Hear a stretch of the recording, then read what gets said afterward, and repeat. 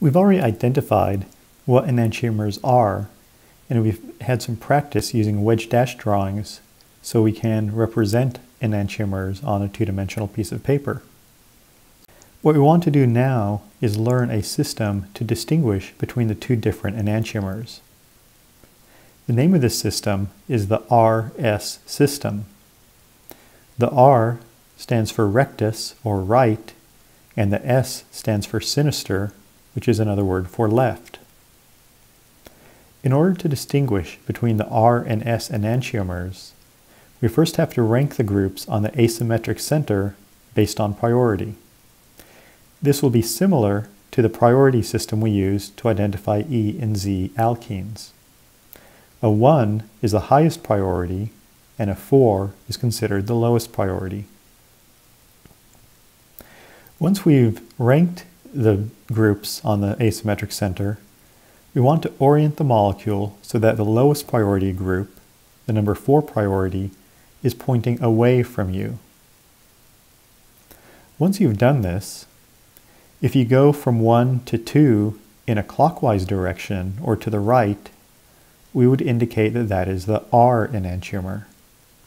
However, if going from 1 to 2 to 3 is in a counterclockwise direction or to the left, we would indicate that this is the S enantiomer. What would you do if the molecule as drawn does not have the lowest group, the number 4 priority group, pointed away from you? If that's the case, you can switch the low priority group, number 4, with the group that is currently pointed away. When you switch two groups on an asymmetric center, you're essentially switching it to the other configuration, to the other enantiomer. Now that you've switched the lowest priority group and the group pointing away from you, if you go from 1 to 2 in a clockwise direction, the new molecule is R, which means that the original molecule was the S enantiomer. However, if going from 1 to 2 to 3 in a counterclockwise direction, that means the new molecule, after switching the two groups, is an S enantiomer, and therefore the original enantiomer was the R configuration. Now that we've learned the steps used to identify the RS configuration of molecules, let's apply those steps to these two molecules. The first step is to assign priorities to each of the groups attached to the asymmetric center. A 1 will be given to the highest priority, and a 4 will be given to the lowest priority. In this case, bromine has the highest atomic number, so bromine will be priority number one. Hydrogen with the lowest priority because it's atomic number one. Of the other two groups, we have a methyl and an ethyl. This carbon has three hydrogens, whereas this carbon has two hydrogens and another carbon. The presence of this second carbon instead of a third hydrogen means that the ethyl is the second highest priority. Now that we've assigned priorities, we can see if the lowest priority, in this case the hydrogen, is pointed away from us. Recall with the wedge dash drawings that the dashed bond is pointed away from the viewer. The hydrogen, however, is even with the plane of the paper. Since the hydrogen, the number 4 priority, is not pointed away from us, we can switch those two groups, the hydrogen and the ethyl group, so that the hydrogen will be pointed away from us.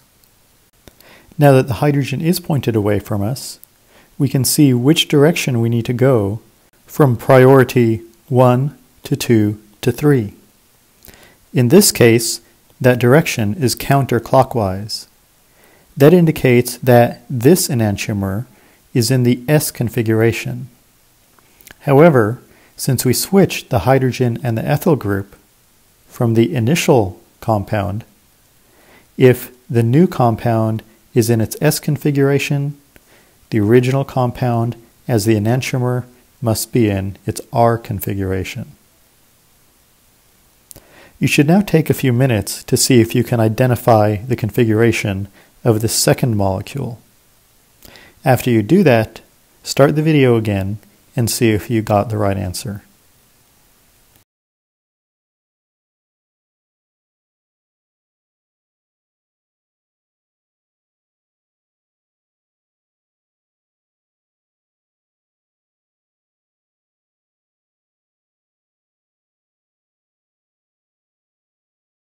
All of the molecules we've seen so far have had only one asymmetric center.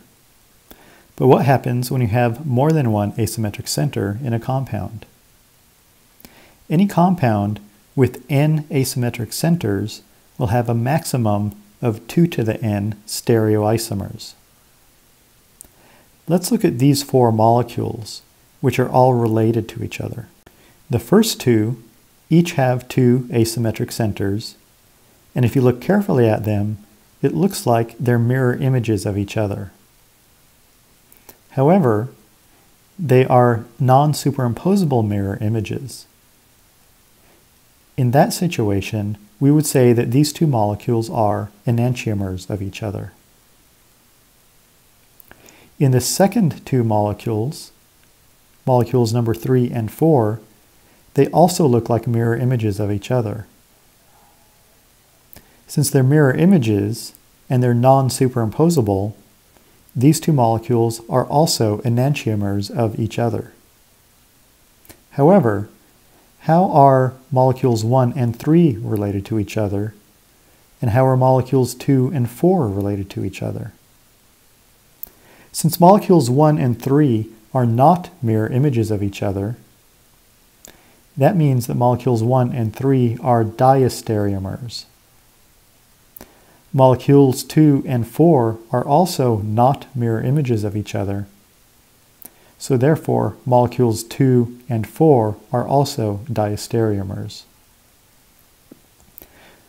When we have more than one asymmetric center, the enantiomers will have both asymmetric centers with opposite configurations.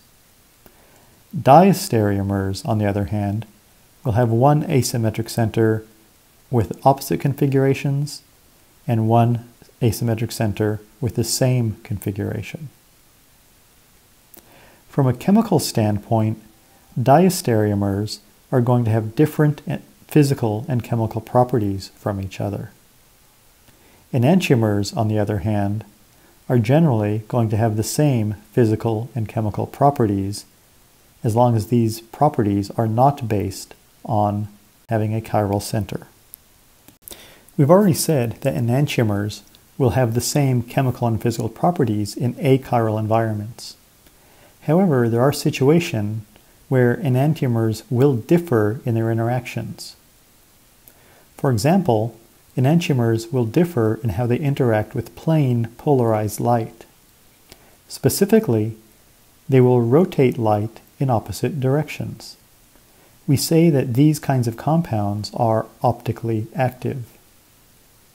If one enantiomer rotates plane polarized light in a clockwise direction, we say that compound is dextrorotatory and it's designated thus with a plus sign.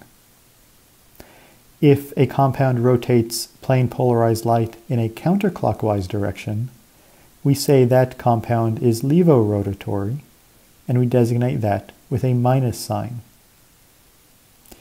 You should be careful to remember that the plus and minus signs for the direction that plane polarized light is rotated is not directly related to the structural configurations indicated by the R and S designations.